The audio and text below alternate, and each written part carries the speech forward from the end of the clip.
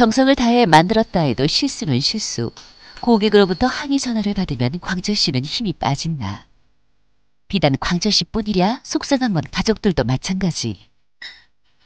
아이 다 식구들 먹는 건 더 좋게 뭐 식구들 먹는 먹기다 될까 더 고객들이 더 아무래도 시비 엇감는 게더 좋게 하지 그래도 그러고 들어갔는데 어찌 것이냐 내가 시청자도 다 돌려 뛰었어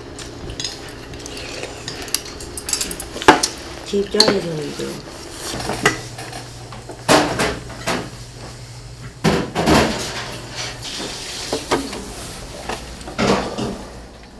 엎친 데 덮친 격. 이번엔 프린터기가 말썽이다. 아 진짜 컴퓨터 어떻게 쓸래 프린터도 안돼 아 내가 언제 썼대? 그냥 못 쓰게 해야지 하, 엄마 건데 모르면 어떡해 아나 미치겠다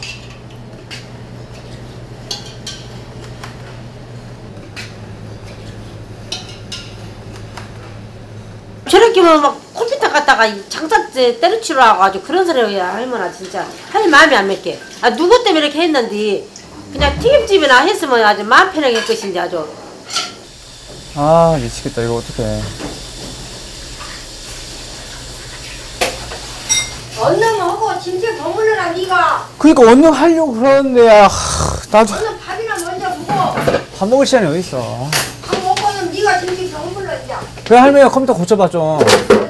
컴퓨터 좀 고쳐보라고 해봐 해봐 광철 씨 마음과 달리 말이 엇나간다. 가게 안에도 찬바람이 쌩하니 분다. 광철 씨가 운송장을 들고 나와 삼촌 집으로 향한다. 민지야 근데 1kg짜리에 수량 달린 거 있어 이거 송장 쓸 줄 알잖아 너 아 이거? 응. 이거 보고 쓰면 되잖아 주소. 전화번호랑. 그리고 이거 배송 요청 사항, 사항 있는 거 있잖아. 이런 거 부재시 이런, 이런 거는 그 써주라고. 이거 가 3kg 주 알겠지? 이거 좀 해줘. 다음 날.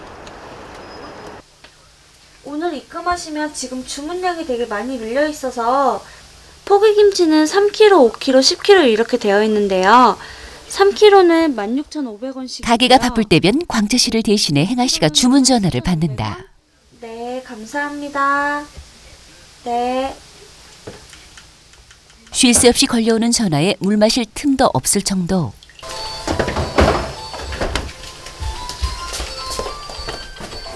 이번에는 택배 기사에게 걸려온 전화. 네, 감사합니다. 짐.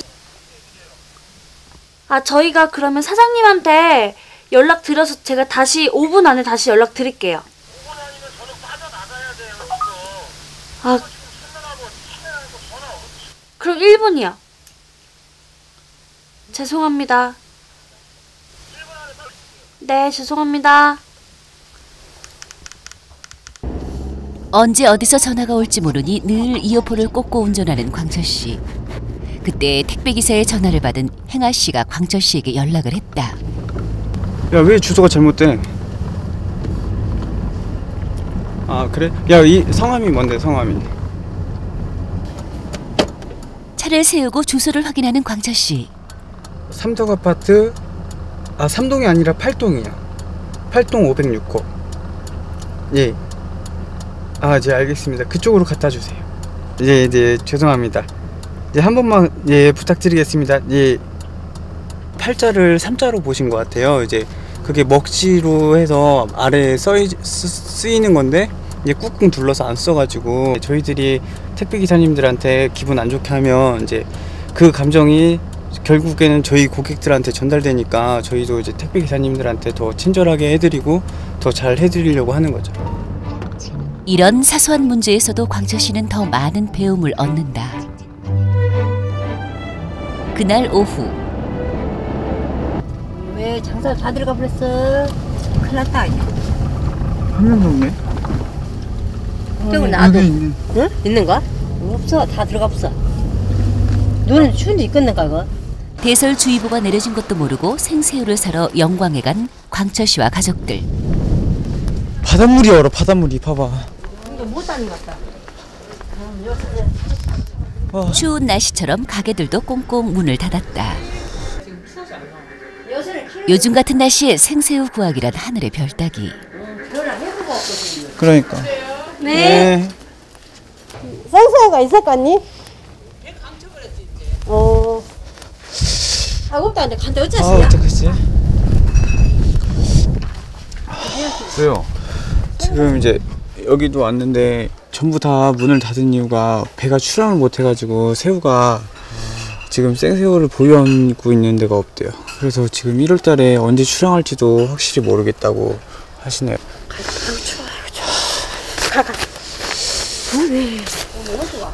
엄마 먼저 들어가 있어. 나 좀 더 알아보고 갈게.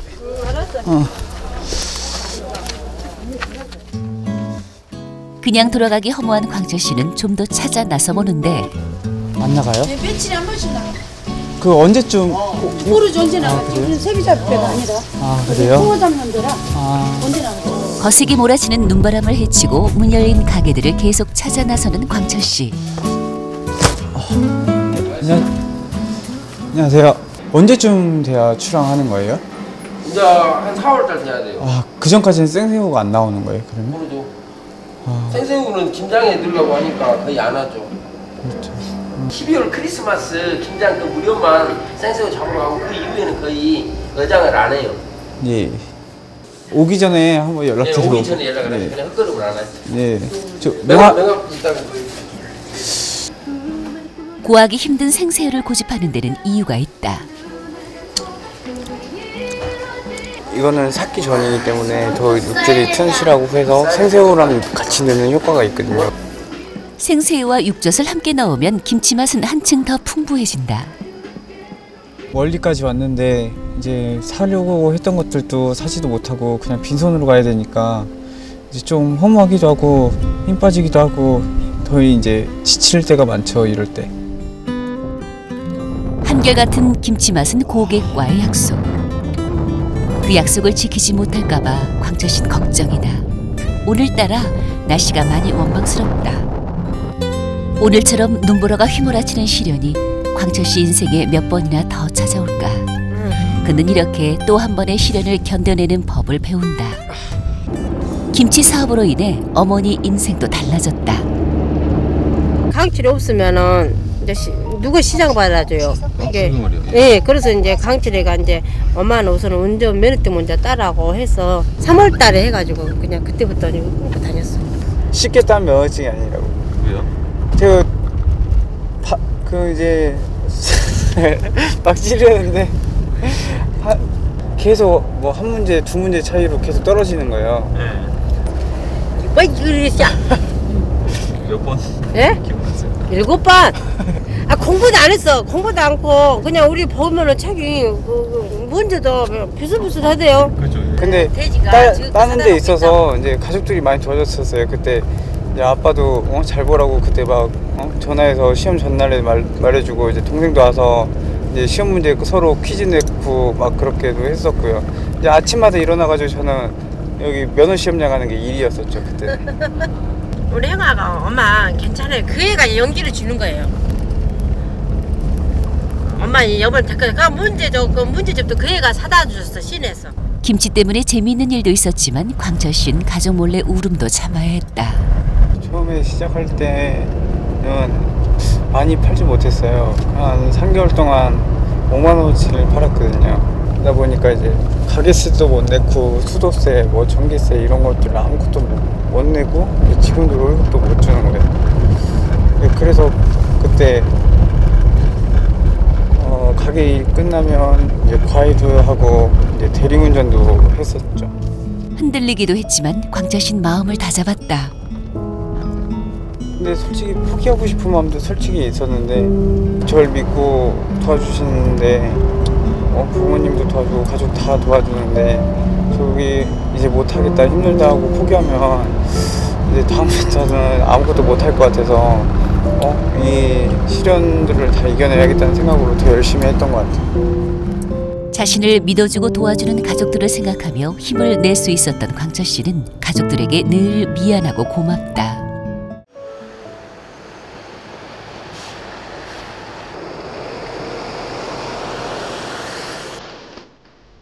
밤새 내린 눈 때문에 비닐하우스가 무너져 내렸다는 소식을 듣고 한 걸음에 달려간 광철 씨.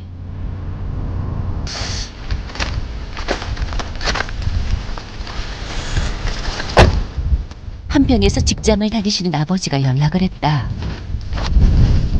여기랑 또 어디 쓰러진 거야? 고추 하우스가 눈 무게를 이기지 못하고 주저앉아 버렸다. 이거 이거 어떻게 해야 돼요? 이거 뽑아서 다시 필 수 있어 이거? 여기서 못 빼고 왜못패 이거? 저번에 아 그래? 아 야, 내 작년에 이거 고추대 꼽을 때도 얼마나 힘들었는데 씨. 다른 하우스도 피해를 보긴 마찬가지. 여기는 얼마나 무너진 거야? 끝까지 다? 여기는 한 50m 50m 여기 다 여기부터 휘었네 다 여기서 여기 주저앉겠다 이제 또 여기. 눈 한 번 더 오면. 작년에 여러분 지금 이 상태는 아다 얼었다. 너무 많으니까. 이게 얼음이네 얼음. 찢어서 눈이라도 빼야지 않아? 여기서 녹아야지 지금 하기 힘들어. 안될것 같아. 당장으로선 해결책도 없다. 그 공산품 대신 진짜 나, 대나무로 심어서 했었거든요. 이한 엄청나게 많은 대나무를 실어다가 이거 다 꽂고 물 주고 그래서 이제 키웠었거든요. 이제 다 진짜 이 고추밭은 정이 많이 들었어요. 1년 동안 진짜 봄부터 와서 이제 모종 어 이제 심고 이제 물 주고 막 그러면서 이제 수확한 거였었죠. 당장 올 한 해의 고추 농사도 걱정이지만 애정을 쏟은 고추 하우스가 무너졌으니 안타까운 마음이다. 그날 오후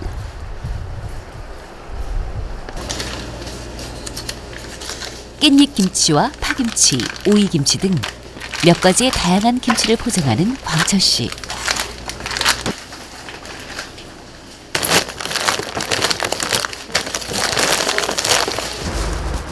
대만으로 김치 샘플을 보내기 위해서다.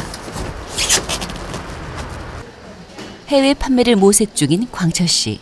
얼마 전 대만에서 샘플을 받아보고 싶다는 연락을 받았다. 이번에 이쪽이랑 거리가 잘 된다면 우선 대만 이제 한인회부터 이제 물건이 돌고 이제 그 다음에 식당 쪽을 노려볼 걸, 걸 예상하고 있어요. 그의 바람대로 해외에 우리 김치를 널리 알리는 계기가 되길 바래본다. 그날 저녁 오랜만에 식구들이 한 자리에 모였다. 이쁘게 나왔지 아빠. 학교와 직장 때문에 흩어져 사는 광철 씨네 오랜만이라 더욱 반갑다. 아빠는 거의 세 달, 네 달? 아빠 우리 세네 달 만에 만났지 우리. 엄청 오랜만에 만났어.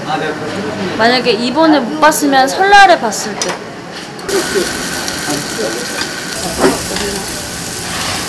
많이 드셔 할매.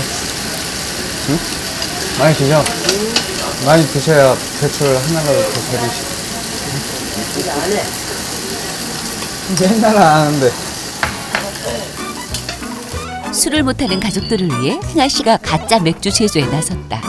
아 이제 알았어 자 엄마 할머니 할머니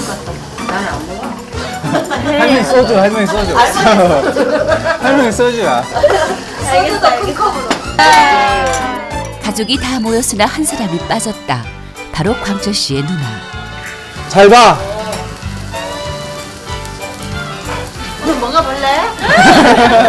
땅수가 왜? 어디 갔냐? 응. 자, 자. 누나가 없어 서운하지만 가족들은 오랜만에 함께여서 행복하다.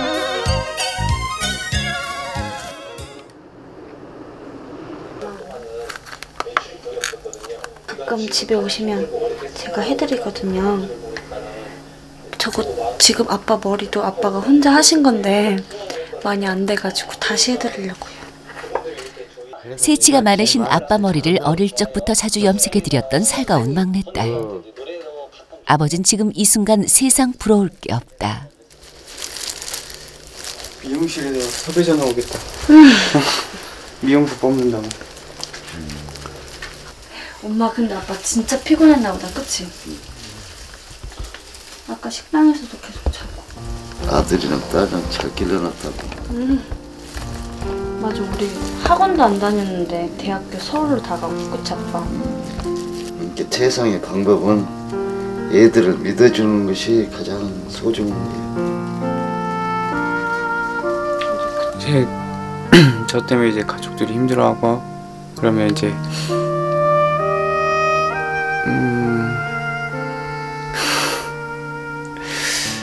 엄마랑 아빠는 항상 저를 많이 믿어주셨어요. 그래서 이제 이걸 하면서도 믿어주시는 분들한테 실망시키지 않겠다는 생각으로 더 열심히 했었던 것 같아요. 흩어져 살아도 가족을 이어주는 끈은 믿음이었다.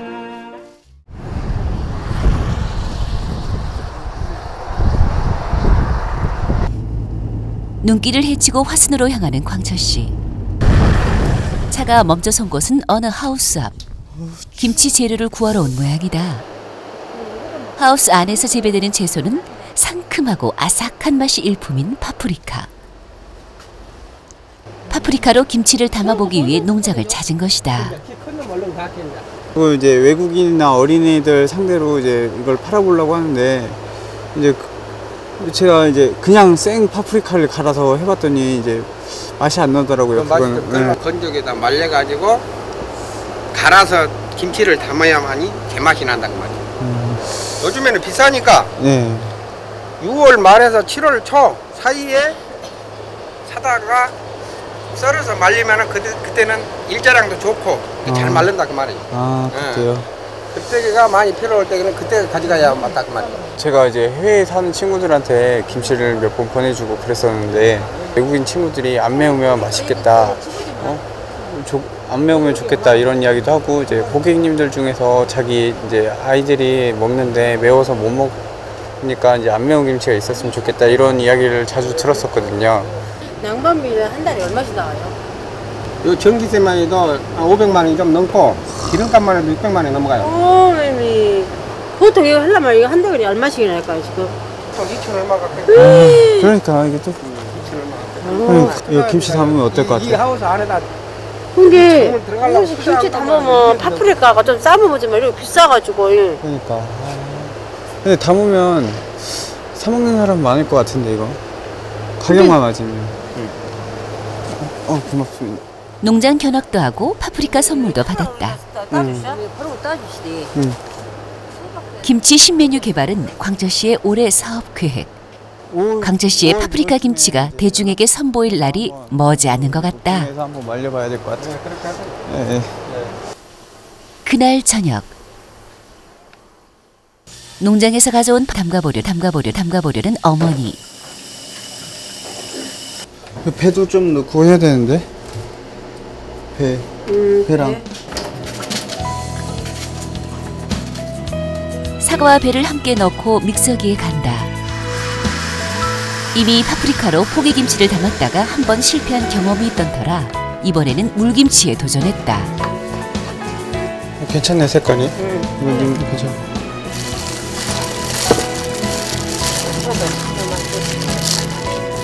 냄새가 어, 냄새가 향이 좋네. 그러니까. 색깔과 향은 합격점. 그렇다면 맛은?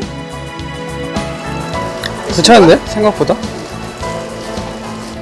우리 이게 물김치 담으면은 좀 숙성해가지고 한 2, 3일 해가지고 해야 되는데 이것은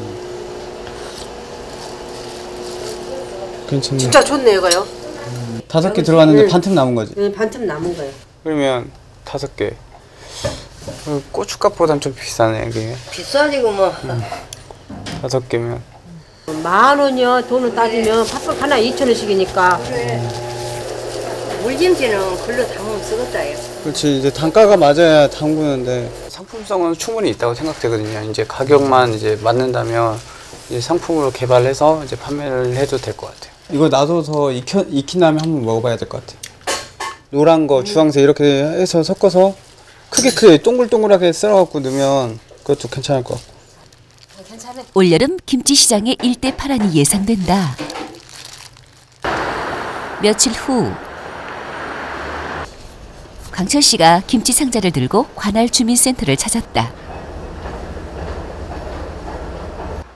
김치 후원을 하고 싶어 며칠 전 주민센터로 문의를 한 것. 찾아뵙고 그 어떻게 네. 지내시는지 저는 이제 이 김치가 독거노인들한테 전달됐으면 좋겠어요. 독거노인들 네, 그래서 이제 어느 정도 되면 이제 양을 좀 늘려서 보내드리고 이제 매달 한 15일 정도에 이제 이렇게 우편으로 보내드릴게요. 광철 씨가 뭐 이런 마음을 갖게 된 데에는 특별한 기억 때문이다. 제가 어렸을 때 집에 불이 난 적이 있어요. 이제 그때 저희 집에 남은 게 하나도 없었는데 그때 적십자에서 구호물품이 왔더라고요. 내가 힘들 때 이렇게 도와주는 사람들도 있구나라는 생각을 했거든요. 그래서 제가 조금이라도 여력이 된다면 이렇게 김치를 생산해서 이걸로 다른 사람을 도우고 싶다는 생각을 하게 된 거예요. 어렸을 때 도움받았던 소년의 기억은 잊혀지지 않고 이웃에게 사랑을 전하고 있다. 그날 오후 학교 동아리방을 찾은 광철 씨. A, B 세트 하나. A, B 세트. 야, 뭐 그냥 시키면 안 돼. 정해져 있어, 돈은. 지금. 거기 제일 비싸 보이는 것들 있잖아. 다 시켜. 깐풍기 막 이런 거. 야, 젓가락. 동아리 후배들에게 오랜만에 선배 노릇을 할 모양인데. 야, 나는, 고, 나는 그냥 짬뽕 국물 남긴 거 그거만 마실래. 아 분들 쿨하게 한번 그냥. 맞아. 이렇게. 몇몇 집 있어?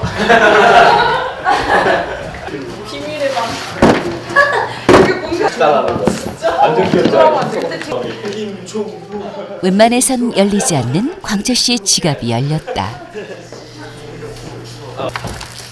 대학 새내기 시절 내성적이었던 성격을 바꾸기 위해 들었던 응원단. 이곳은 추억이 많이 묻어 있다. 꼭 밥 먹을 때면 울리는 광철 씨의 전화. 네, 여보세요? 아, 저희 포기김치, 총각김치, 깍두기, 그리고 석박지, 동치미, 백김치, 그리고 파김, 네, 한 13 종류, 네, 있어요. 광철 씨의 끊임없는 노력과 아, 도전이. 계속되는 한 그의 김치를 찾는 사람은 앞으로 더 많아질 것이다. 주문 받으셨어요 또? 어? 또 주문 받으셨어요? 여기 거의 사업장이에요 그래요? 네. 뭐 하다가도 광철이 형 전화 오면 다 멈춰야 돼요 한번 다 같이 애들 데리고 공장 가실 기세요 김치 담그러 그의 내일은 맑음다.